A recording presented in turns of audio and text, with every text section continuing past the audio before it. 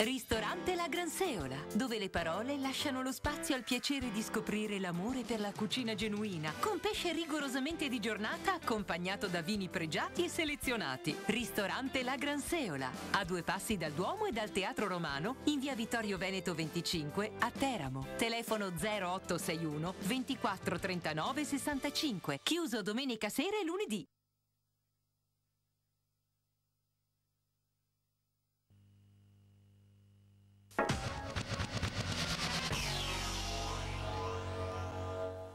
Basta con la fatica per caricare e scaricare l'acqua in bottiglia. Basta con l'odore di cloro dall'acqua del rubinetto. Basta con l'incertezza dell'acqua che bevi. La soluzione definitiva ai tuoi problemi te la offre la Antel Tecno col suo progetto Acqua Sicura. Per informazioni chiama subito il numero verde 800 180 460 e sarai sicuro di conoscerla. La Antel Tecno offre garanzia soddisfatti o rimborsati ed aderisce alla campagna Basta con gli imbroglioni per la massima tutela dei consumatori.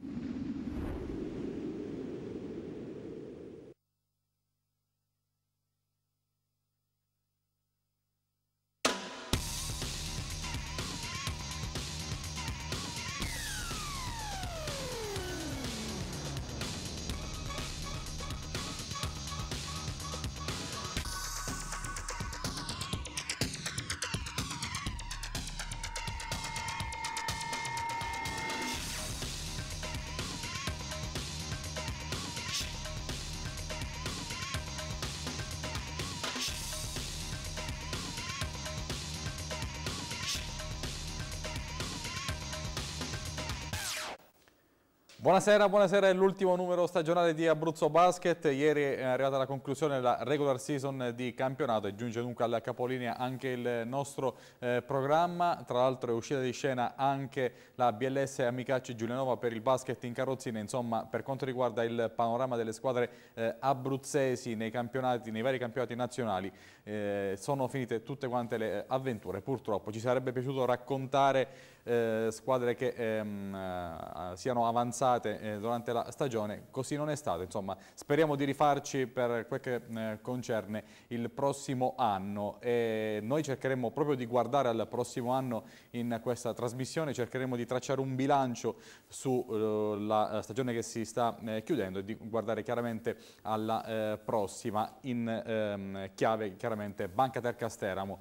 E allora eh, puntata prettamente giornalistica quella di eh, questa sera e infatti vado subito a presentare, eh, li possiamo vedere tutti e tre, eh, in ordine da sinistra a destra, mm, come li vediamo, Paolo Marini, ciao Paolo, Francesco Di Francesco, ciao Francesco e Matteo Falzon, ciao Matteo. Ciao a tutti, buonasera.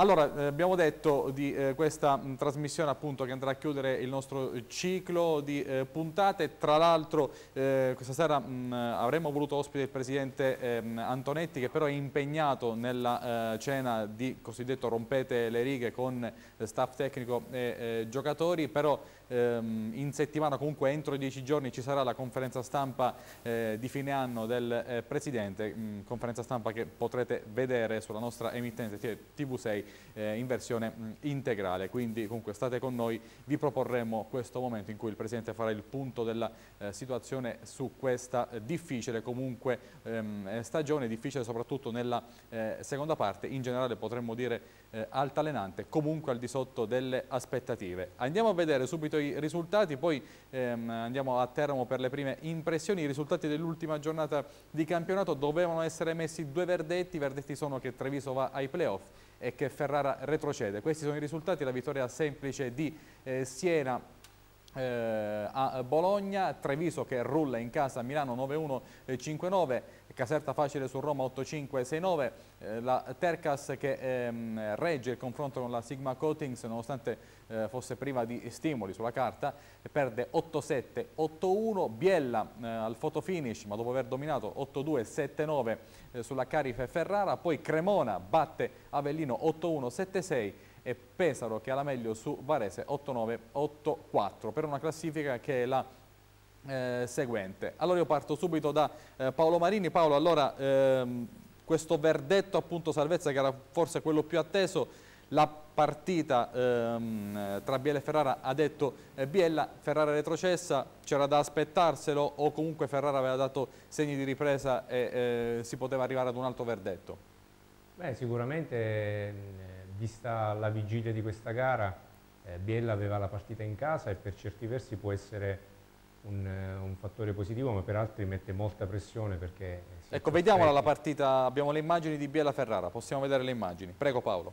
Eh, sì, quindi dicevo, Biella aveva da un lato la, eh, il fattore in casa che poteva essere visto in maniera positiva, ma anche in maniera negativa perché la pressione ovviamente ti aumenta in quelle, in quelle situazioni. Ferrara aveva fatto un girone di ritorno sicuramente molto eh, promettente, per cui alla vigilia eh, io sinceramente mi sarei aspettato un colpo di Ferrara eh, a Biella. Poi eh, ovviamente ero a vedere Teramo a Porto San Giorgio contro Montegrano, quindi non ho visto la partita, seguivo qualche, eh, qualche aggiornamento e ho visto un andamento strano, cioè eh, Biella è andata subito avanti e ha condotto per gran parte della partita, poi c'è stata la rimonta eh, di Ferrara e poi c'è stata una discussione sull'uscita per cinque falli di Ford, una discussione, una grossa polemica lanciata poi sui giornali, eh, ripresa oggi anche dai giornali appunto dal presidente di Ferrara che ha accusato eh, pubblicamente un arbitro di aver in qualche modo condizionato, fischiando un quinto fallo al suo dire inesistente e aver tolto dalla partita appunto Sherrod Ford che era l'elemento fondamentale poi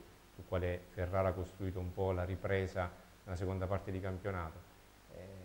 Eh, poi i casi della vita, c'è stata ovviamente la vicenda di Spinelli che, sul quale è capitato l'ultimo pallone, ricordiamo Spinelli un anno e mezzo a Biella, quest'anno acquistato a campionato in corso da Ferrara, lui ha avuto la possibilità appunto di tirare la bomba eh, da tre sul finale di partita che però ovviamente era un tiro disperato che non è andato a conclusione, lui stesso aveva dichiarato sui giornali comunque andrà a finire questa partita non potrò essere contento perché eh, quest'anno giocava per Ferrara e nel caso che Ferrara vinceva avrebbe dato un dispiacere alla sua ex squadra Biella, nel caso contrario sarebbe retrocessa Ferrara e Biella sarebbe restata in Serie A però lui non era ovviamente combattuto un po' Allora, diciamo vediamo, vediamo sì, l'ultima immagine proprio di questa partita, magari anche col tiro sbagliato da Spinelli nel finale. E chiedo anche a Francesco e a Matteo, partendo appunto da Francesco, insomma, se i verdetti arrivati in quest'ultima giornata di campionato, ovvero la retrocessione di eh, Ferrara e l'ottavo posto di eh, Treviso, sono verdetti che si aspettavano. Francesco. Ma direi di sì, perché Milano non aveva nessun interesse a giocare alla morte, cosa invece che sapeva avrebbe fatto Treviso e così eh, è stato. Eh, Milano stava già pensando ai playoff e Milano forse non aveva nessun interesse eh, a sperare di fare seconda perché si sapeva che, che, era quasi certo che avrebbe chiuso al secondo posto, avrebbero incontrato già al primo turno eh, dei playoff la l'Ottomatica Roma e infatti sarà così tra Caserta e eh, Roma. Stessa cosa io credo per Cremona Avellino, è vero che Cremona sapeva che eh, avrebbe dovuto perdere addirittura di eh, 17 punti con eh, Avellino eh, per rischiare di retrocedere finendo a pari punti o con Ferrara o con eh, Biella, però mh, in campo nessuno va per perdere in partenza. E quindi eh, che Cremona si sarebbe giocata la partita alla morte perché valeva una salvezza eh, storica per la squadra lombarda era facilmente pronosticabile così come era pronosticabile che Avellino eh, potesse perdere perché Avellino ha costruito il suo buon eh, campionato, buono fino a un certo punto perché la non conquista dei playoff non era nei programmi della squadra campana, però a un certo punto della stagione tutti pronosticavano Avellino possibile partecipante ai playoff, Avellino che però ha costruito la sua stagione, dicevo, eh, con eh, il cammino interno, con le vittorie eh, in casa. Fuori casa sempre stentato, poche vittorie, pochissime, credo un paio, non eh, di più e quindi anche questo era un risultato facilmente prevedibile. Per il resto non mi sembra che ci siano stati eh, grossi eh, stravolgimenti. Ripeto, tutti dicevano nessuno voleva chiudere tra Milano e Caserta al secondo posto per evitare di giocare al primo turno con Roma che è vero ultimamente ha dato segni di grossa ripresa però ha continuato ad avere un rendimento eh, altalenante ma Roma resta sempre una eh, grossa squadra eh, rinforzatasi in queste ultime eh, settimane è in grado di poter vincere contro chiunque, Siena a parte che eh, sì. ha giocato l'ennesima stagione eh, per conto suo e così credo che sarà nei, anche nei playoff. Play eh, voglio sentire Matteo eh, su questo tema e con Matteo anche introdurre il, quello che è il tabellone eh, playoff che insomma, si svilupperà eh, dal prossimo 20 di eh, maggio per chiudersi chissà potenzialmente anche il 25 giugno ma molto probabilmente non sarà così. Matteo. Beh, eh, io sono d'accordo con quello che hanno detto sia Paolo che Francesco tenendo ben presente che in corso d'opera eh, la giornata di ieri ha vissuto un'altra sorpresa perché comunque Avellino ehm, è partita dalla prima giornata sempre all'interno delle prime otto è stata e di fatto per la prima volta è uscita ieri dalla zona playoff, però è uscita nel momento proprio eh, decisivo e quindi ha pagato questa cosa, tenendo presente anche che nel, quino, nel primo quarto Avellino conduceva di ben 13 lunghezze sul campo di Cremona, quindi tutto lasciava presagire che Avellino vincesse a Cremona, Cremona perdesse di pochi punti e tutto andava secondo le previsioni della vigilia. Avellino però è crollata nella seconda parte della gara e Cremona ha ottenuto una vittoria importante tenendo presente che la gara Cremona-Avellino rispetto alle altre due eh, Treviso-Milano e eh, Biella-Ferrara che erano un po' i campi collegati tra di loro è finita con abbondante anticipo. Quindi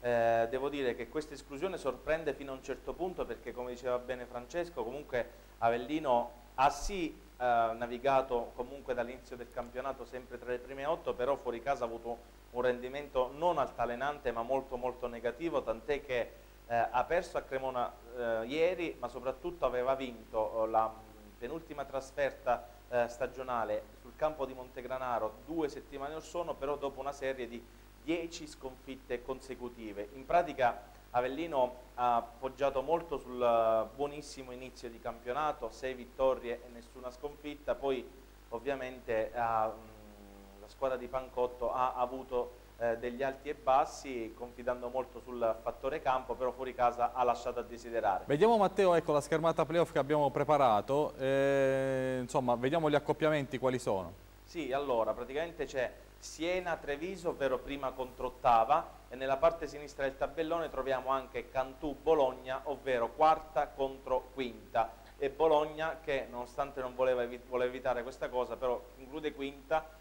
è, è, nella parte di tabellone di Siena e soprattutto avrà il fattore campo sfavorevole perché deve giocare almeno tre gare ipoteticamente sul campo di Cantù.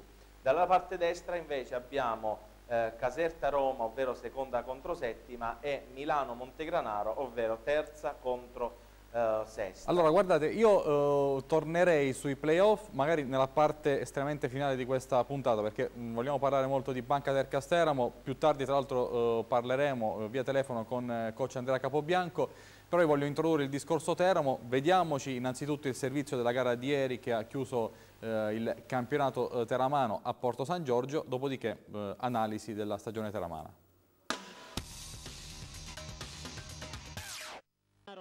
Si chiude con una sconfitta al Palasavelli di Porto San Giorgio il campionato della Banca Terca Steramo. Con il punteggio di 87-81 la Sigma Coatings Montegranaro fa suo anche il match di ritorno con i biancorossi e complice la sconfitta della Lottomatica centra il sesto posto e incrocerà Milano nel primo turno di playoff.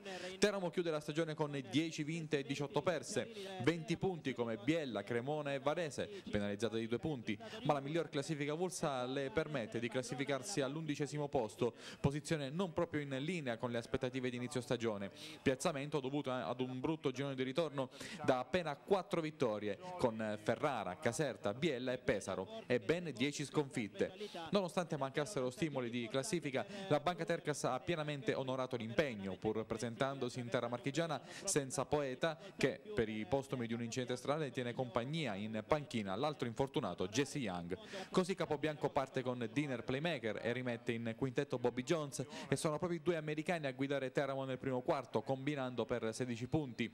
E la partita è in mano ai biancorossi fino al più 10, 30-40 del 27 Il primo tecnico fischiato a Jones dalla spinta alla Sigma Coatings per accorciare le distanze, 38 a 44 all'intervallo e gara in equilibrio nella terza frazione quando con Maestranzi e Marchignos la squadra di Frates va anche avanti mentre Teramo tiene con gli 11 punti di Jones il quale come è noto litiga sempre con il concetto di continuità tanto da farsi fischiare un secondo tecnico nell'ultimo quarto. Il californiano perde la testa e deve intervenire Poeta dalla panchina a calmarne l'animo irrequieto. L'episodio propizia l'allungo definitivo di Montegranaro, la Tercas non molla, resta in scia anche con il contributo dalla panchina di Marino e Cerella ma non basta. Alla fine il dato statistico che più fa la differenza è il tiro da 3, 13 su 26, 50% per la Sigma, 8 su 21, 38% per Teramo. Migliori marcatori della partita sono Jones e Diner con 21 e 20 punti rispettivamente, 12 con 7 rimbalzi per Jurak, per la Sigma Coatings in 5 vanni in doppia cifra, 18 punti per Maestranzi e 16 per Figlioi. Le note di questa canzone a salutare il ritorno Allora Paolo, se c'è una partita che può fotografare la stagione di Bobby Jones, ma diciamo anche un po' della squadra, direi che quella contro Montegranaro è una buona fotografia, un buon modo di chiudere sotto questo punto di vista il campionato, è una sorta di sintesi. Beh, possiamo dare anche questa Anche perché si è perso di poco, la squadra è rimasta in partita sempre, ha lottato, ma alla fine ha perso con uno scarto di sei punti. Sì, sì, eh, diciamo, restando a Jones diciamo, ha fatto vedere dire, quello che può fare ma in tutte, in, in, con un'accezione sia negativa che, che, positiva, nel senso che i due tecnici che, ha, che, gli sono stati fischiati appunto sono stati fischiati in momenti eh, decisivi. Nel secondo periodo quando Teramo era avanti 40-30 e aveva l'inerzia della partita in mano e in quel momento lui si è rifiutato di alzare il braccio per accusarsi di un fallo che so dire non c'era avendo una reazione che l'arbitro subito, l'arbitro d'este se non ricordo male, subito ha voluto eh, punire con il tecnico. Nel quarto periodo invece quando poi ha avuto il eh, secondo tecnico nuovamente è stato preso in un momento in cui la squadra già era sotto, in un momento in cui eh, L'inerzia era di Montegranaro. Un terzo periodo ottimo dove aveva segnato, se non ricordo male, 11 punti in circa 7 minuti ed era stato l'unico di Teramo a essere un po' pericoloso nel terzo periodo quando Montegranaro sostanzialmente ha, ha, costruito la sua vittoria in particolar modo con il tiro da tre punti, con Maestranzi e Marchignos.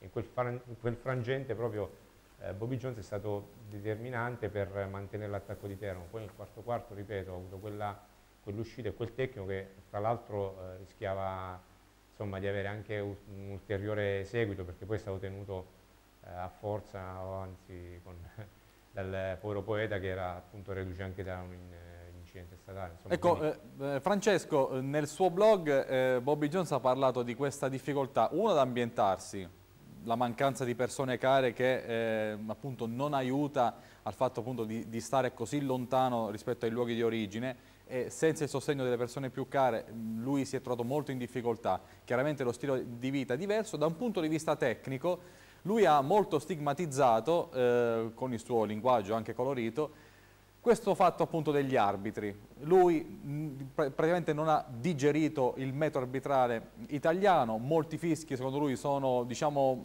prevenuti e lui si sente vittima un po' di tutto questo perché lui dice la difesa è la mia forza, se mi impediscono di difendere sostanzialmente vado fuori di testa, questa è chiaramente una eh, mia eh, forzatura, ma il senso comunque è quello. E ieri insomma è un po' andato al di sopra delle righe, quasi come per lui è stata una liberazione, cioè è arrivata l'ultima giornata, basta, non ne posso più, esplodo. Che parliamo di Teramo, intanto devo salutare, avevo quattro tifosi del eh, Teramo no? basket della Banca, Banca Tercas, Luigi Antonio, Domenico ed Angelo, eh, vi avevo promesso, tra l'altro beati loro, sono eh, a cena dopo essere stati ieri a Porto San Giorgio per eh, l'ultima di eh, campionato. Eh, su Bobby Jones si potrebbe eh, parlare a lungo e si potrebbe anche non parlare. Su una cosa sono d'accordo eh, con Bobby Jones quando critica eh, il modo di arbitrare eh, in Italia e se vogliamo anche in Europa, ma soprattutto in Italia su tanti fissi che potrebbero lasciare correre, io ho sempre ammirato eh, Mario Boni, lo ammiro ancora eh, di più, lo apprezzo ancora di più perché su Sky, dove a Sky evidentemente si sono passati eh, la parola, non criticano mai eh, gli arbitri italiani o rarissime volte, Mario Boni mentre di tanto in tanto li ricanda ricordando che il basket è sport di eh, contatto e che forse dovrebbero lasciar correre. Ma anche questo è un discorso che ci porterebbe eh, lontano e forse a nulla perché dopo tanti anni che sono nel mondo del giornalismo e delle eh, televisioni posso dire che con gli arbitri la partita eh, è persa eh, fino a quando sono gli stessi arbitri a lamentarsi del loro ambiente e nel calcio e nel basket. Chiusa questa eh, parentesi, dico però a Bobby Jones che a un certo punto della stagione, quando lui ha capito che in Italia gli arbitri purtroppo arbitrano così, si sarebbe dovuto adeguare o comunque avrebbe dovuto trovare la forza dentro di sé di ingoiare tanti bocconi eh, amari. Bobby Jones ha dimostrato di avere grandi qualità, però purtroppo è stato uno dei, eh, come vogliamo dire, dei nei, non voglio usare frasi forti, ma comunque uno dei giocatori eh, che ha deluso, che ha contribuito a far sì che il Teramo non disputasse la stagione che tutti eh, si aspettavano, eh, perché è stato a lungo in tante partite in panchina e non credo che Capobianco di colpo fosse impazzito, anzi tutt'altro, lo teneva in panchina perché non rendeva. La partita di ieri, se vogliamo, è la fotocopia perfetta, la cartina di tornasole, come volete, della stagione di Bobby Jones che ieri ancora una volta ha dimostrato notevoli qualità tecniche, atletiche, bravo sì in fase difensiva ma anche bravo in fase d'attacco, però poi si perde tante volte in un eh, bicchiere d'acqua. Ripeto, Bobby Jones per me è uno dei, non voglio usare un termine forte, ma comunque mi si passi tra l'altro come si dicono, dicono, ormai tutti tra virgolette, colpevole, uno dei colpevoli della eh, stagione del Teramo che, attenzione, attenzione, a mio modesto avviso, resta ampiamente eh, positiva, sia la stagione del Teramo dello scorso anno, eh, per essere sintetici e lascio la parola agli altri, si poteva dare tranquillamente un 9, anche un 9 e mezzo per quello che tutti ricordano. Io personalmente alla stagione del Termo di quest'anno do un 7 abbondante perché il Teramo doveva eh, mantenere la Serie A, ha mantenuto la Serie A, non ha avuto mai problemi di eh, salvezza, non ha avuto, dovuto mai fare eh, i conti e eh, fra pochi mesi torneremo a parlare di Serie A per l'ottavo anno consecutivo. E voglio sentire anche da Matteo una valutazione ecco, generale, se vuole anche lui dare un voto, e poi comunque restare su questo discorso, Bobby Jones, James Thomas, i due colored di quest'anno, eh. ecco, molto da loro si parte nel capire il perché di questa evoluzione? Beh, dopo la stagione scorsa ovviamente le aspettative erano tante. Ehm, però non si può dire che eh, la squadra abbia deluso perché come diceva Francesco comunque la salvezza è arrivata con due giornate di anticipo, eh, magari un po' prima c'era qualche patema ma poi abbiamo visto che comunque c'erano diverse squadre sotto Teramo e comunque va detto che questa squadra, tanto per aggiungere qualcosa a quello che ha detto Francesco, nei momenti importanti, ovvero le partite interne con Ferrara, Biella e Pesaro ha sempre risposto presente e ha ottenuto tre vittorie che a conti fatti sono risultate decisive non solo per conquistare la salvezza ma per conti fatti alla mano anche in, termine, anche in termini di punti per conquistare comunque un buonissimo undicesimo posto finale. Eh, poi bisogna dire che questa stagione ha visto la prima storica partecipazione alla, ad una Coppa Europea che non è assolutamente eh, da buttare via. Teramo ha sfiorato l'accesso a una seconda fase eh, che sarebbe stata veramente più che prestigiosa, perdendo con tre punti di scarto tra andata e ritorno contro quell'Alba Berlino che poi è andata a fare la finale della manifestazione.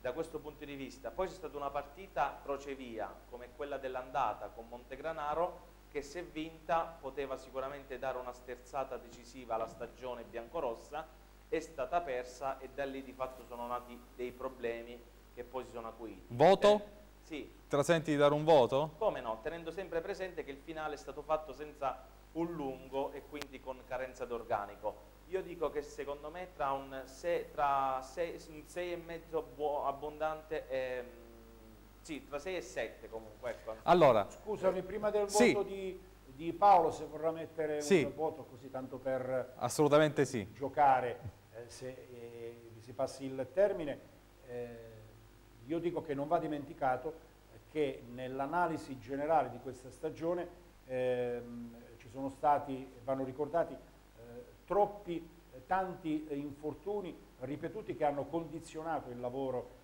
di eh, Capobianco e del suo staff e che hanno condizionato il rendimento di tanti eh, giocatori. Cito eh, Young che si è infortunato per l'ennesima volta nel momento in cui stava giocando meglio, l'espressione migliore del basket di Young eh, qualche mese fa prima che si facesse male, dopo l'infortunio avuto a inizio stagione. Eh, Amoroso e Poeti, i problemi a inizio stagione, i problemi di Thomas che hanno portato poi al eh, taglio del giocatore, quindi sotto questo aspetto non è stata una stagione uguale a quella eh, dello scorso anno e quindi decisamente meno fortunata perché quando sì. capitano infortuni eh, non si può parlare eh, se non di eh, fortuna, soprattutto se sono infortuni che eh, non, come tutti gli altri che non possono essere preventivabili, per poi andare all'analisi dei vari giocatori e in sede di presentazione di questa stagione tutti erano convinti che il Teramo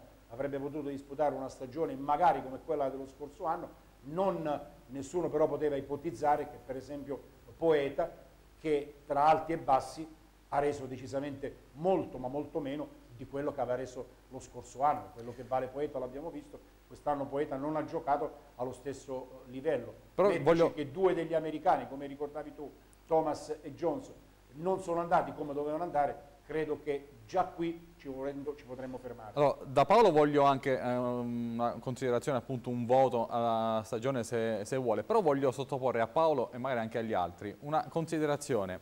Comunque è una squadra che nel girone di ritorno ha vinto quattro partite, è una squadra che eh, prima della gara che prima ricordava mh, Matteo, mh, quella contro Montegranaro, aveva un bilancio di 7 vinte, 7 perse in campionato ma con una partenza da 1-4, quindi una squadra che era in forte ripresa, che in Europa si era fatta valere come? Perché dopo il debutto difficile nel preliminare, gara d'andata, ha ribaltato il risultato nel ritorno, recuperando 14 punti alla Poel, poi se l'è giocata alla grande in Europa, ha sfiorato il passaggio del turno, è arrivata una vittoria dal passaggio del turno, ha perso con uno scarto di tre punti in due partite contro l'Alba Berlino, che poi è arrivata in finale eh, nel, nell'Eurocup. Allora, se noi fi, eh, fissiamo eh, il termine pre-gara eh, con la Sigma Coatings dell'andata, sicuramente il giudizio è iper soddisfacente, tenuto conto di tutte queste difficoltà.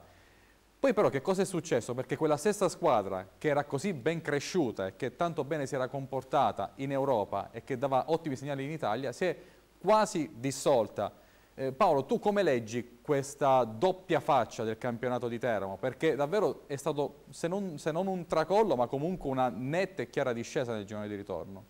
Beh, sicuramente il 2010 è un anno che fino ad ora non ha regalato soddisfazione sul, proprio sul piano dei, dei, risultati. Io credo che il voto che può essere dato proprio alla, alla, alla squadra quest'anno comunque non può prescindere dai, dai, risultati ottenuti, nessuno mette in dubbio ovviamente l'impegno, nessuno mette in dubbio eh, il gran lavoro che, stato, eh, che, si è provato a fare eh, quest'anno. Ci sono stati fatti negativi come hanno appunto eh, detto i miei colleghi, non, sicuramente gli infortuni e fra l'altro eh, aggiungo proprio a quello che diceva Francesco, aggiungo il fatto che quegli infortuni sono capitati proprio nei momenti eh, decisivi, cioè non so, Amoroso ricordo che era infortunato prima della partita contro il Galatasaray in Turchia che avrebbe comunque deciso il passaggio al secondo turno. Poeta ebbe un attacco influenzale che gli fece perdere, non ricordo, due o tre chili proprio eh, nella, eh, diciamo nella, partita precedente a Montegranaro, proprio l'andata che de determinava il passaggio dell'approdo alle Final 8 eh, di, di Coppa Italia. È mancato Jesse Young nelle ultime sei partite di campionato, eh, quando il giocatore stava rendendo di più questi sono fatti che sicuramente vanno messi diciamo, nel calderone quando si esamina la stagione, però io eh, sono un po' più severo tra virgolette, eh, rispetto ai miei colleghi perché credo che per le aspettative e proprio per quanto era stato detto anche in sede di presentazione la scorsa, la scorsa estate, eh, la squadra era, eh, ovviamente veniva dalla miglior stagione mai effettuata in Serie A e da una serie di anni in cui tutto eh, è andato comunque, eh, comunque bene, però eh, diciamo poi all'atto pratico quando poi la stagione si è sviluppata molto a causa delle scelte iniziali, non so, la scelta di Thomas che poi seppur una motivazione giusta c'era, cioè io devo rinforzare la squadra in un certo modo perché devo affrontare sia il campionato che la Coppa, ho bisogno di un giocatore con certe caratteristiche e eh, Thomas sulla carta eh, poteva essere la scelta giusta, però il giocatore è arrivato qui con eh, problemi fisici, problemi fisici che poi gli hanno permesso minimamente di, di, poter giocare e si è visto che il giocatore non era in, proprio in grado di giocare, tant'è che eh, proprio anche dopo la rescissione del contratto con Teramo tuttora Thomas non stava giocando, quindi quella è stata una prima scelta che sicuramente tecnicamente ha influito. Bobby Jones è stato la seconda scelta che negativamente ha influito sul campionato perché il, eh, un americano, eh, quando tu ne puoi scegliere quest'anno eh, quest quest'anno quattro americani appunto hai potuto scegliere e due eh, diciamo, non sono andati eh, per il verso giusto, dal tre titolare di una squadra ti aspetti, a maggior ragione appunto un americano ti aspetti altro, sicuramente più di quello che ha dato Jones quest'anno, fra l'altro questo ha costretto anche un giocatore come Diner a dover fare eh, di più, diciamo sono tanti adesso gli aspetti tecnici che si possono andare a esaminare, io non mi voglio dilungare poi forse molto. Però, sì, ripeto, infatti Paolo io questo volevo eh, evidenziare, che comunque eh, la situazione di Thomas era stata in qualche modo corretta in corsa, Jones comunque c'è stato dall'inizio e si erano intravisti dei miglioramenti, cioè la squadra che è partita 1-4 dopo le prime giornate di campionato è la, è la, stessa squadra che poi era arrivata a 7 pari nel, a fine girone d'andata facendo un buon cammino in Europa e facendo anche un buon cammino in sostanza in Italia perché poi quegli stessi giocatori, quindi una squadra poi corretta con Jurak, con Stanescu quella squadra poi ha cambiato così eh, marcia, rendimento. Ti... Sì, sì, dico semplicemente per concludere proprio il discorso, un primo fattore è che se tu parti in una stagione avendo degli obiettivi e poi durante la stagione per i risultati che sul campo eh, si ottengono questi obiettivi devono cambiare anche a livello psicologico eh, il giocatore comunque è la squadra, quindi un gruppo, parliamo di diversi giocatori, non, eh, possono rischiare di non adattarsi subito a questo cambiamento di, diciamo, di, di prospettiva, di obiettivo. E il secondo fatto è che proprio la gestione anche settimanale proprio della squadra, cioè nella prima parte di campionato devi preparare eh, due partite a settimana, i giocatori hanno anche modo più veloce di recuperare da una sconfitta o, o di non esaltarsi troppo per una vittoria, tra virgolette, quindi proprio è un cambio anche di, eh, di situazioni che poi durante la settimana ti vanno eh, come dire, sì. a, a incidere sul lavoro che tu svolgi quando poi inizia una sconfitta, inizia ad avere qualche problema anche tecnico all'interno della squadra, perché tu dici è vero è stata migliorata la formazione, per esempio il rendimento che poi è stato di Stanescu all'inizio non è stato sicuramente Appunto. quello che da un certo punto della stagione in poi eh, si è visto, cioè da dicembre in poi Stanescu non era quello di, eh, di Assolutamente novembre. no. Eh, lo Assolutamente stesso Young no. che non ha potuto giocare subito per gli infortuni, voglio dire se il rendimento di Jesse Young che noi abbiamo visto ad aprile fosse stato eh, diciamo lo stesso a novembre o prima ancora, probabilmente le cose sarebbero state diverse. Cioè sì. qui... Sentiamo Paolo anche gli altri, non so se Francesco o Matteo vogliono aggiungere qualcosa su queste considerazioni. No, io la prima riflessione che volevo fare era quella che poi adesso ha fatto Paolo, proprio sul rendimento di Stanescu. C'è stato il, appena sono arrivati Stanescu e Jurek, eh, in tanti, in tanti sussurravano, magari apertamente nessuno lo diceva, dice, forse è andata bene che Thomas è stato, si è infortunato, eh, non si è integrato, è stato eh, tagliato, perché per un lungo indubbiamente di notevole spessore eh, tecnico ne sono arrivati due bravi, molto bravi e quindi tra l'altro un roster più ampio e maggiori soluzioni per il eh, coach, alla luce anche di quello che eh, fece vedere subito Stanesco perché Jurak lo, uh, lo si conosceva e abbiamo visto tra l'altro che stagione positiva ha portato uh, a termine. Eh, ricordava bene Paolo, lo, Stanescu del mese di, di novembre, delle prime eh, 3, 4, 5 partite, non è stato lo Stanescu poi che abbiamo visto dopo nel girone di eh, ritorno. E questa è una pedina, l'altra pedina Jones eh, che era una lampadina che si accendeva e si spegneva. E io non voglio essere, come posso dire, pesante, già lo sono proprio di struttura fisica immaginate se mi ci metto pure il resto, però se lo vogliamo fare con una battuta, se uno dentro casa ha la lampadina che si accende e si spegne, prova ad avvitarla a vedere se si accende soltanto. Se la lampadina continua ad accendersi e spegnersi, che fa? Svita la lampadina e ce ne mette un'altra, giusto? Questo non vuole essere una critica alla società, è una critica al giocatore che purtroppo per lui e purtroppo per il Teramo non ha reso per quello che avrebbe potuto rendere perché ha fatto vedere. Sì, qui stiamo parlando di un altro giocatore, così come Stanescu, che ha dimostrato di avere grosse qualità eh, per poter emergere. Ecco, ha purtroppo la negatività di non essere continuo o comunque di non aver reso per quelle che sono le sue reali eh, capacità, perché se Stanescu avesse continuato a giocare in quel modo, se Jones, eh, ripeto, fosse stato più eh, continuo, con le sue grosse qualità, eh, se Poeta eh, avesse avuto meno problemi, diciamo così, e quindi un rendimento maggiore, così come aveva avuto un rendimento meno altalenante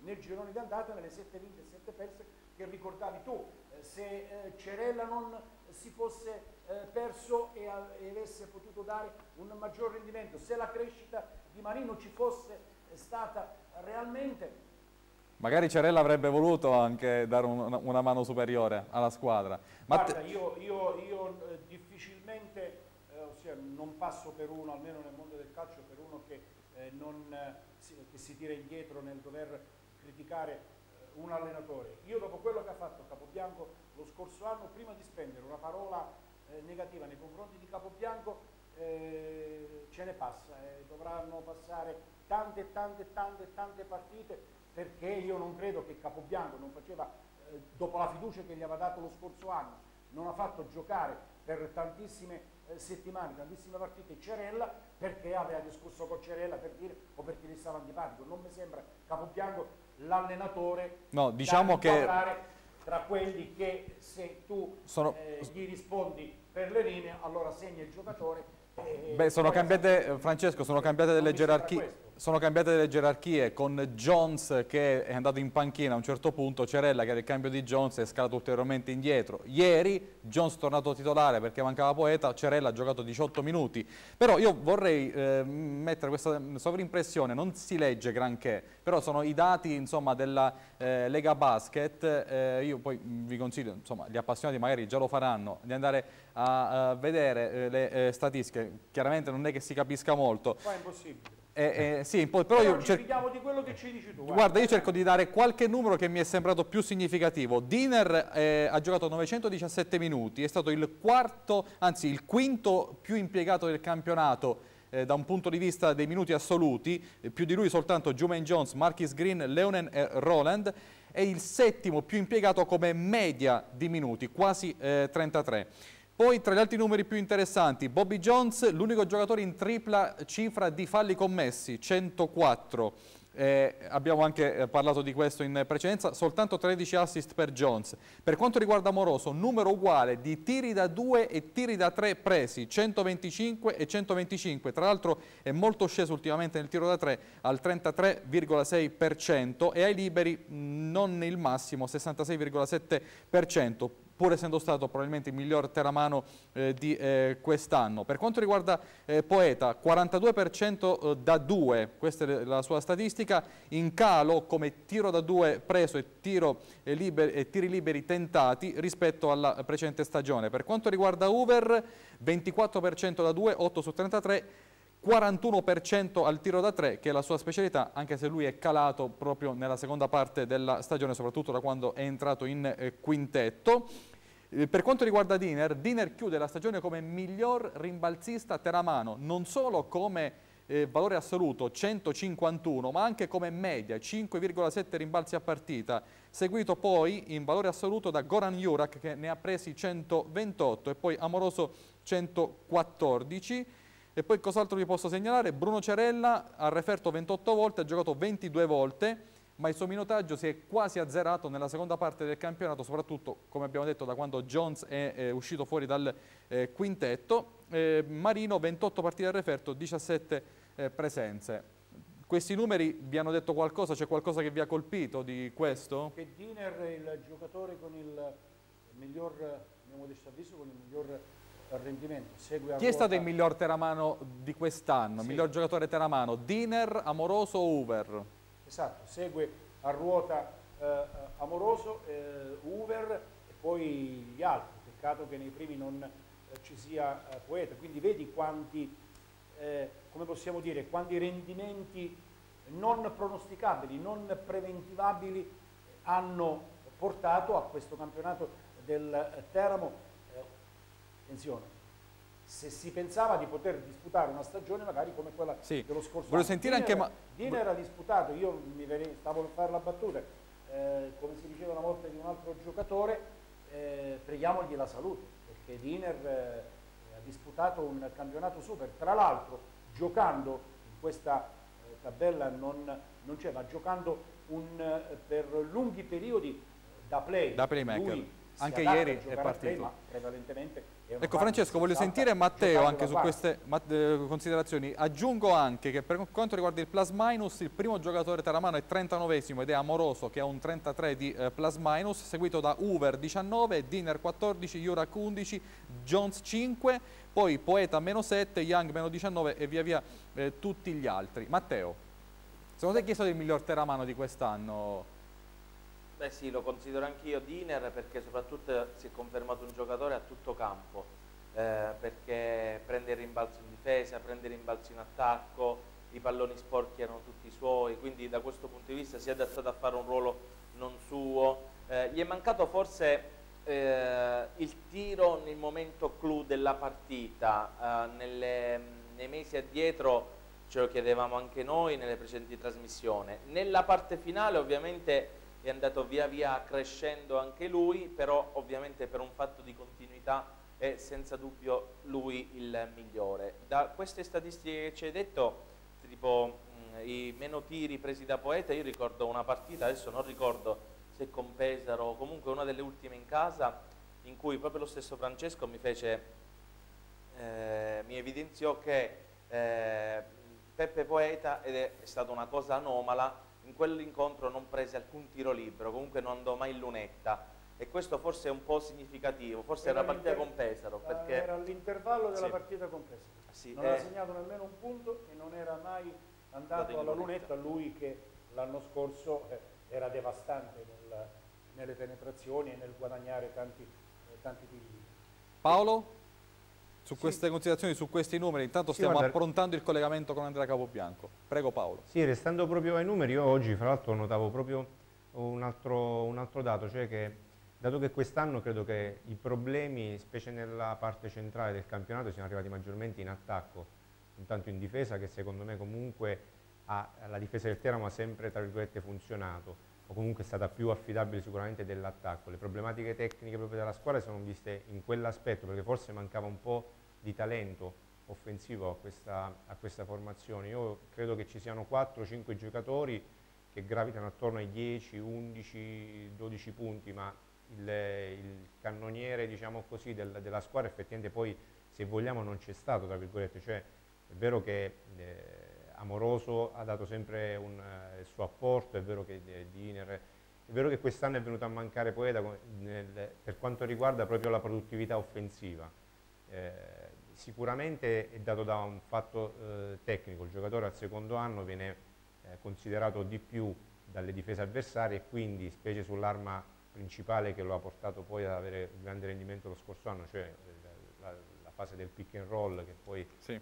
è da lì che lui ha prodotto tantissimo nello scorso campionato, quest'anno veniva attaccato maggiormente e veniva tenuto sempre fuori eh, dall'area chiudendo proprio gli spazi, quindi era proprio un fatto tecnico che impediva di fare il gioco e poi lo scorso anno gli ha permesso di produrre tanto, però questo per quanto riguarda la produttività offensiva, perché poi secondo me, dato che comunque eh, per quanto riguarda assist, per quanto riguarda eh, le palle recuperate, Poeta è migliorato e ha anche eh, perso in percentuale meno palloni dello scorso anno. E anche come eh, gestione della palla, seppur diciamo, non ha cancellato eh, quelli che possono essere un po' i suoi limiti, però è un giocatore che ha eh, aggiunto qualcosa al suo gioco rispetto a quello del, dello scorso anno. Paolo, ti, Paolo ti, interrompo perché abbiamo già da un minuto in collegamento Andrea Capobianco, non sì. voglio farlo attendere ancora di più. Coach è in linea? Sì, buonasera. Buonasera, buonasera coach. Chiaramente qui eh, stiamo facendo un po' un'analisi su quella che è stata la stagione e io subito, entro subito nel, nell'aspetto diciamo, diciamo, più importante e giro a, proprio al coach, proprio a lei questa eh, analisi. So che magari ci vorrebbe molto più tempo, magari lo troveremo più in là, però la prima cosa che si sente di dire su uh, come sono andate le cose eh, quest'anno, qual è? Ma certamente eh, il fatto di aver perso penso tantissime partite dagli 1 a 5 punti ci è pesato notevolmente, come secondo me eh, la stagione eh, ha un, un eh, ha spento qualche entusiasmo, tra virgolette, entusiasmo nel momento in cui abbiamo perso un Montegranaro in casa e non siamo andati alle finalette e la partita persa a Cantù eh, dove eravamo in piena corsa per i playoff che alla fine a tre giornate al termine ancora eravamo lì e, e quindi eravamo dovevamo essere pronti per, per, per un, un, eventuale errore, vedi Avellino uh, a Cremona. Uh, certamente queste due partite ci sono pesate tantissimo e certamente le partite perse da 1 a 5 punti sia in casa che fuori sono state un macigno enorme sulla, sulle spalle di tutti.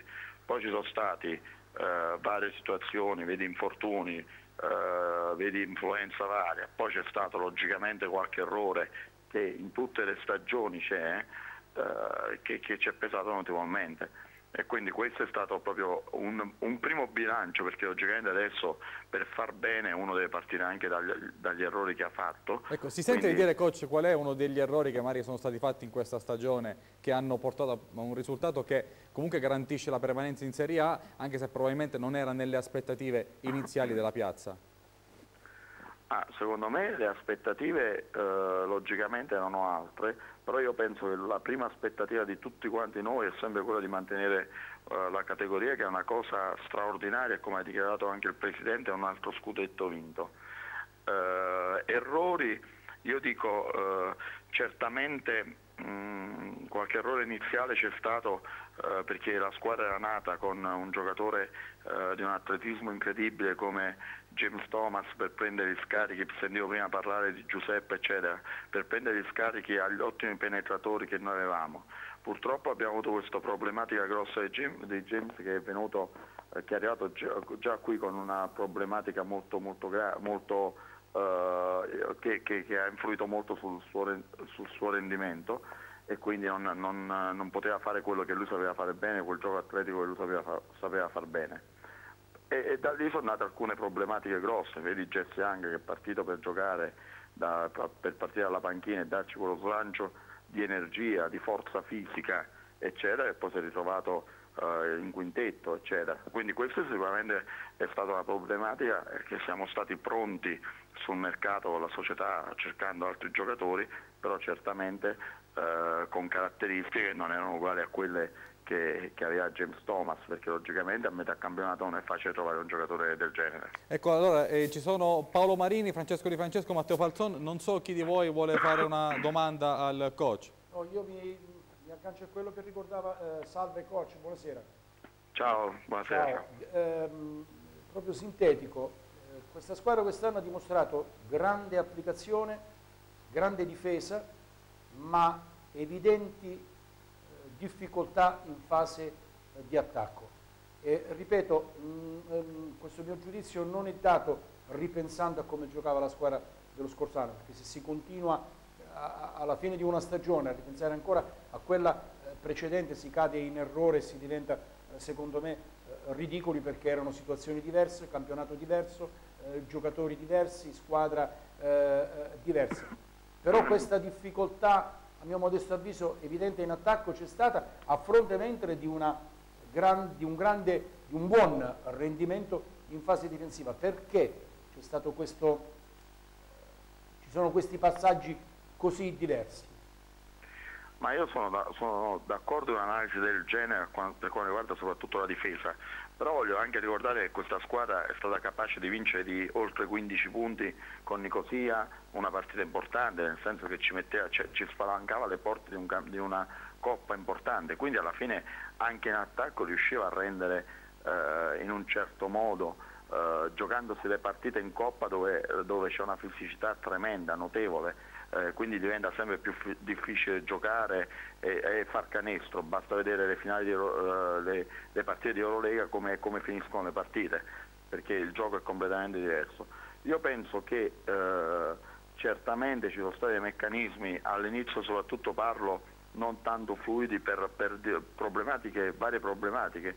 Noi siamo una squadra che ha giocato e doveva giocare sempre di squadra perché questo è il, è il, modo in cui vincono i campionati le squadre in Italia all'estero e, e, le squadre diventano veramente forti.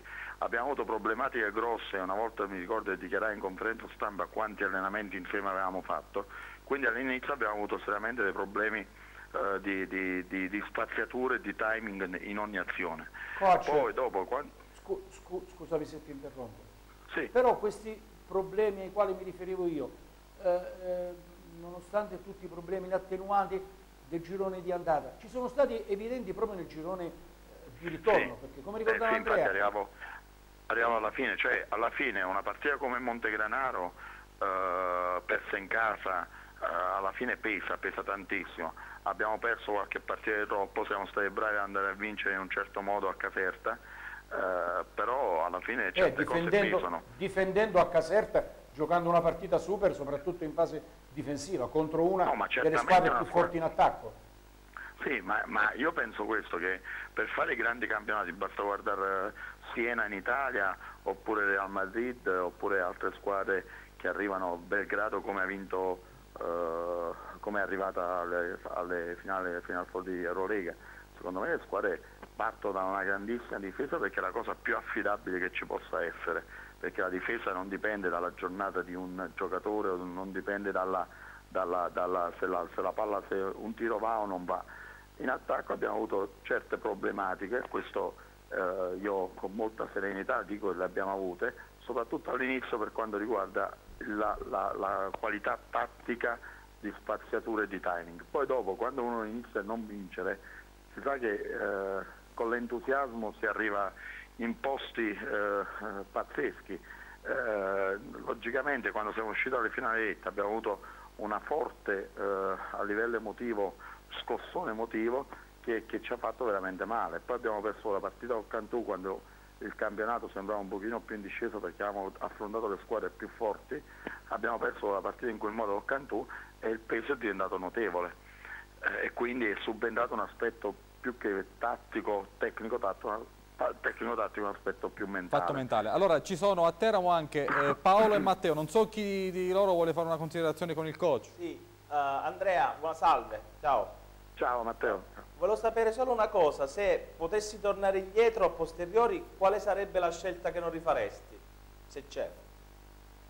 Ma certamente qualche scelta cercherei di farla meglio perché dagli errori bisogna sempre imparare però la vita ci dice sempre che bisogna guardare avanti e bisogna provare a non fare errori l'anno dopo, quindi quello che, che, che, certamente andrò a fare è quello di, di proporre situazioni dove non, non ci sarà, dove eh, vogliamo, vogliamo, imparare dagli errori in pratica e questo non solo io ma tutti quanti. Paolo? Eh, salve coach, io diciamo una, una, curiosità che ovviamente si, si collega proprio a quello che hai appena detto, cioè il fatto eh, in vista poi del prossimo anno, dove tutto poi ci tocca anche cercare di capire un po' che futuro eh, si prospetta per questa, per questa squadra. Eh, quali saranno comunque le scelte che sul piano tattico si cercherà, o meglio, quali saranno gli errori, anche se poi prevederli prima è sempre, eh, diciamo, sarebbe troppo bello, però quali saranno le scelte insomma, che si cercherà di fare, che saranno fatte per la prossima squadra sul piano tecnico per cercare poi appunto di non incorrere nelle situazioni che si sono potute verificare quest'anno? Sai, con grande onestà ti dico che ieri è fin del campionato abbiamo pensato solo a quello fino adesso. Uh, adesso, adesso, abbiamo il tempo giusto per cercare di, di, guardarci tutti quanti insieme col Presidente e con tutti per cercare di, di, di fare una squadra, uh, una, una squadra, giusta, di fare qualcosa di importante perché secondo me uh, i progetti vanno, vanno sempre tenuti presenti e noi vogliamo fare qualcosa di importante qui a Teramo, questo è certo. Il che sottintende che come da contratto Andrea Capobianco sarà allenatore della Banca del Casteramo anche l'anno prossimo, lo possiamo certificare ulteriormente coach? Ma sai, penso che non, cioè questo non, non, non vedo perché non debba essere così. No, cioè comunque... Non, eh, io, io, credo molto nel lavoro su Noi stiamo facendo un lavoro a livello giovanile, sì. è un lavoro pazzesco, a partire dal mini basket con Marco D'Ascenzo e responsabile del settore giovanile di Vincenzo Di Meglio. E, e su ogni ragazzo c'è un certo progetto e parlo su tutti i ragazzi. E questo è i progetti, io ho letto delle dichiarazioni di Repeta pure eh, oggi, eh, i progetti sono cose importanti, una casa si forma se è progettata bene e se viene man mano costruita, non è che dall'oggi al domani si va eh, sul terrazzo perché si vede bene la città, bisogna arrivare sul terrazzo per guardare bene tutto e noi stiamo cercando di progettare nel modo migliore tutte le cose, con i nostri errori perché fanno parte dell'essere umano gli errori, però l'impegno è totale e lo studio è totale. Andrea, una, posso fare un'altra domanda veloce? Sì, sinteticamente sì. e sintetica anche la risposta. Francesco. Sì, velocemente. Eh, dunque coach, ehm, ho sentito ultimamente una risposta splendida che hai dato sul quando ti hanno chiesto come mai Polonara eh, è stato poi utilizzato pochissimo, quasi nulla nel corso della stagione, la tua risposta è stata splendida, però eh, se mi permetti io mh, ti, eh, ti, chiedo di, di, dare non una, una, risposta diversa, io faccio questa considerazione, mi hanno insegnato in tanti anni allenatori di calcio e anche di eh, basket, eh, lo dicono gli stessi giocatori, ma questo vale per il calcio, per il basket, per il tennis, eh, per qualunque altra, per la pallavolo, eh, se un giovane si allena con quelli più bravi, cresce più in fretta e impara di più. La mia domanda è questa, perché Polonara non è rimasto nell'organico della prima squadra per crescere magari più in fretta, con tutto il rispetto per i compagni eh, di, della squadra dove ha giocato Polonara. Però io credo che Polonara, eh, lavorando quotidianamente con Amoroso, eh, con tutti gli altri eh, giocatori eh, che tu avevi, avrebbe potuto apprendere tanto ma tanto di più, o no? Uh, ma infatti Polonara si è allenato quasi sempre con la prima squadra, poi ha fatto un campionato di C2 che ci serviva molto da un punto di vista di mentalità e la società ci ha permesso, grazie all'intuizione del Presidente Antonetti, ci ha permesso di fare questo campionato cercando di, cercando di progettare ancora meglio la situazione, nel senso che Polonara avrebbe dovuto fare un certo tipo di miglioramento e l'abbiamo fatto giocare in una, una certa posizione in C2, in un'altra posizione a livello di eh, campionato giovanile e si è allenato sistematicamente, eh, sistematicamente con, con, uh, con, la prima squadra. Una cosa che ci tengo a precisare, oggi ho letto benissimo da, da, uh, da Repesa, quindi rubo questa cosa, io penso, e non parlo solo di Polonara, parlo in generale per tutti, che la società Teramo Basket dà tanto, dà tantissimo a questi giovani. Questi giovani devono anche dare loro qualcosa alla società. Secondo me è la cosa più giusta. Ci stanno provando, stiamo lavorando nel modo migliore, stiamo progettando nel modo migliore. Cerchiamo di avere tra qualche anno i vari di Giuseppe, un ragazzo spettacolare, e, e, tanti altri ragazzi in prima squadra che possono diventare i futuri poeta, amoroso, eh, Jurac, eccetera, eccetera. Questo è il nostro compito è quello che noi vogliamo fare e perciò facciamo, cerchiamo di fare riunioni su riunioni e cerchiamo di portare ognuno le proprie idee per cercare appunto di avere un domani un futuro veramente roseo per, per il Teramo Basket perché è quello in cui crede il Presidente e quello in cui sta investendo tantissimo. Grazie, grazie Andrea Capobianco, dobbiamo Posso chiudere. dire una cosa sola, sì, scusa? Sì. Volevo ringraziare di cuore quei ragazzi che ieri ci hanno seguito.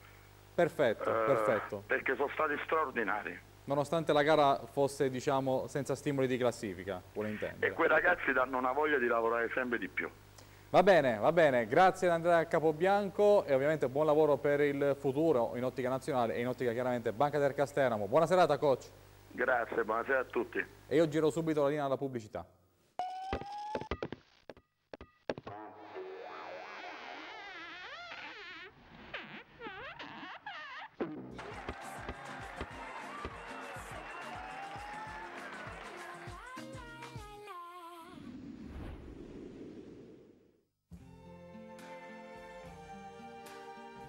Ristorante La Rusticana. Il gusto di una cucina tradizionale e innovativa con piatti di propria creazione. L'eleganza di una festa indimenticabile nella meravigliosa sala dedicata a banchetti e cerimonie. Ristorante La Rusticana, in contrada Stampalone, Cellino Attanasio, Teramo.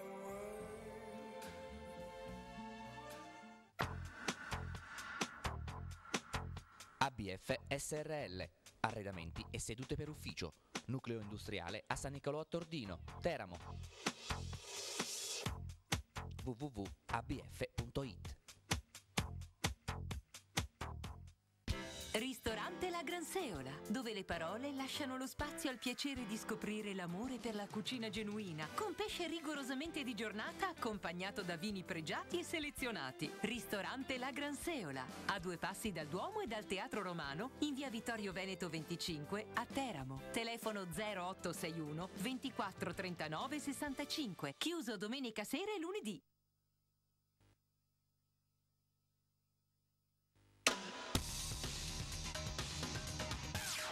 Allora siamo uh, fuori il tempo massimo, il tempo davvero è, è, volato, tante le considerazioni che abbiamo fatto, purtroppo dobbiamo chiudere, io chiedo a Paolo, Francesco e, e Matteo di insomma, fare delle considerazioni finali, davvero 30 secondi di più non vi posso dare, ma considerazioni che possano riguardare il futuro della uh, Banca Tercas. Paolo.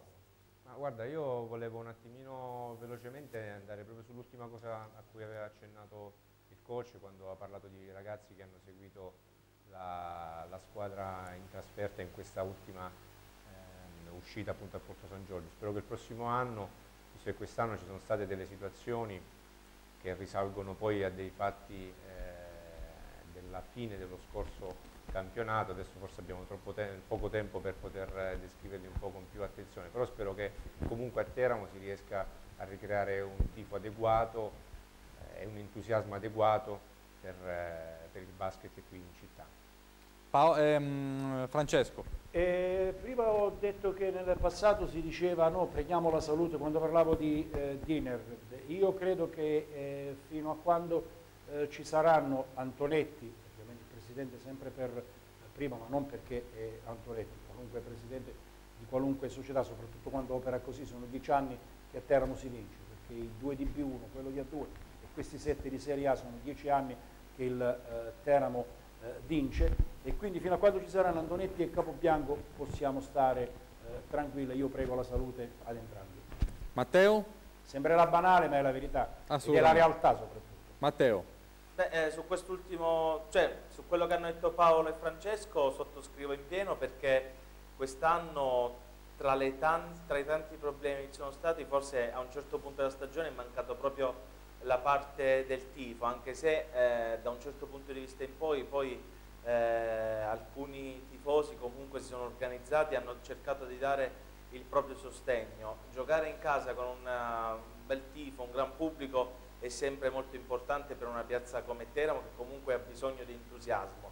Eh, L'entusiasmo alla società e allo staff non manca, eh, già dopo la partita, l'ultima in casa contro Treviso, eh, Antonetti e i suoi si sono diciamo, si sono incontrati sui gradoni del, eh, sugli spalti del Palasport a luci spente, magari per cercare già di tracciare una prima linea eh, guida in vista della prossima stagione. Ci sono delle basi su cui ripartire che sono il coach, lo staff tecnico e eh, sono dei giocatori sotto contratto, ovviamente eh, tra cui Diner, eh, Marino, Cerella, ovviamente bisognerà vedere anche le scelte che si andranno a fare, però ci sono questi giocatori sotto contratto, Poeta che ha un altro anno di contratto ma credo che la sua avventura in biancorosso sia finita eh, e poi bisognerà vedere eh, alcuni giocatori che sono in scadenza se dovranno essere o meno confermati, Amoroso, Bene. Jurac su tutti, il mio parere già lo conoscete, io li confermerei entrambi. Va subito, bene, subito, subito. Saremo, saremo a vedere. Amoroso e Jurek subito, subito, con tutto eh, rispetto ne... alla bravura di Antonetti e Capopiano. Cercheremo, ecco Francesco, di capire di più già dalla conferenza stampa del Presidente nei prossimi giorni,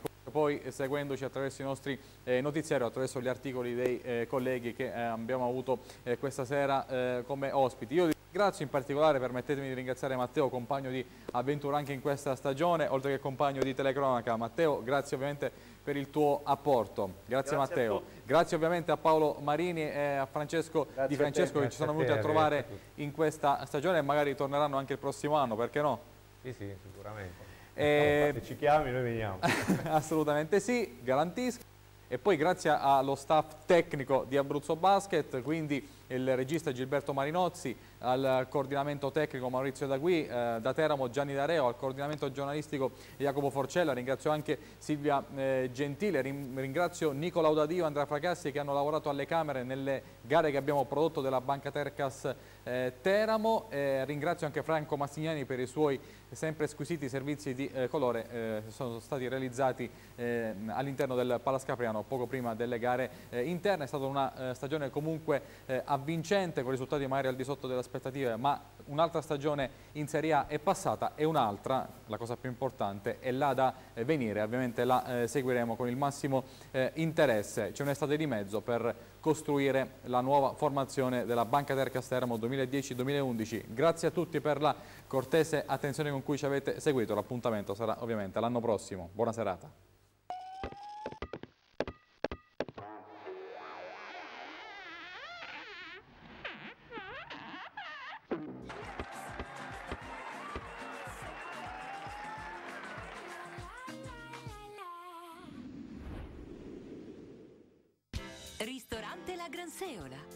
Parole lasciano lo spazio al piacere di scoprire l'amore per la cucina genuina, con pesce rigorosamente di giornata accompagnato da vini pregiati e selezionati. Ristorante La Gran Seola, a due passi dal Duomo e dal Teatro Romano, in via Vittorio Veneto 25 a Teramo. Telefono 0861 24 39 65, chiuso domenica sera e lunedì.